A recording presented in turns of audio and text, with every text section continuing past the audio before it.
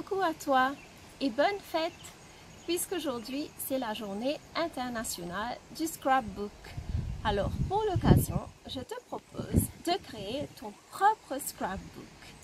À la base, tu auras besoin d'un diary comme ceci, un vieux diary que tu n'utilises plus ou bien d'un vieux cahier ou tout simplement d'un magazine.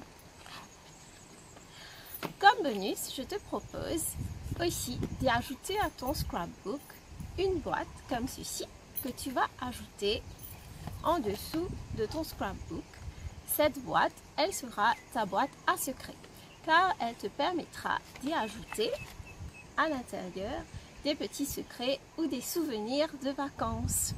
Alors, si tu veux bien créer ton propre scrapbook, suis bien toutes les étapes qui vont suivre dans la vidéo.